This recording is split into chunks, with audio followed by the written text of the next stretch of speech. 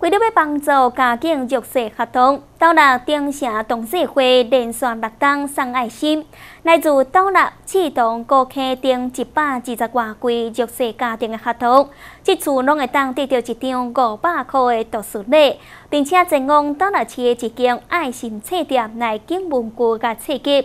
丁城同济会表示，希望因抛砖引玉的行动，会当让学童感受到社会温暖。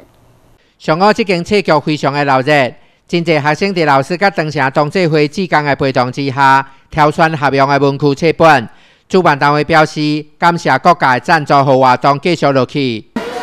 这个今年哦，已经连续第六年，我每年拢会举办两届，哦，上下学期各一次。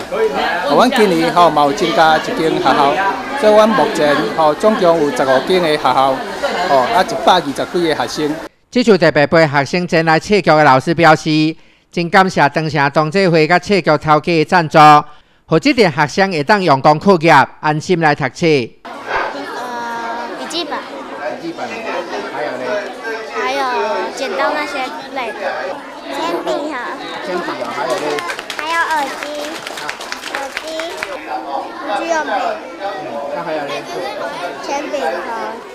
当然是以实用的文具为主，对啊，也是有跟小朋友说，如果要买玩具的话，只能买一样这样子，希望他们好好利用这个，哎，别人帮助他们的一个机能这样子。为了响应当城同济会举办爱心助学的活动，册局的头家表示，这次只要来购买活动，拢有拍折的优惠。立委刘建国嘛，希望有更加侪单位来加入爱心助助的行列。呃，我想这是当下国际同济会吼。啊，一路很满啊，大家共同的这个理念，就是希望这较比较上较弱势的囡仔吼，啊，会当透过社团、透过社会资源啊来来关心吼，啊，互伊啊会当感觉这个婚姻的社会也是真大真大的即温暖。希望吼，这虽然无偌侪钱，吼啊，但是希望讲吼，会用加减来减轻到咱家长的负担，啊，互咱小朋友感受到咱社会温暖的。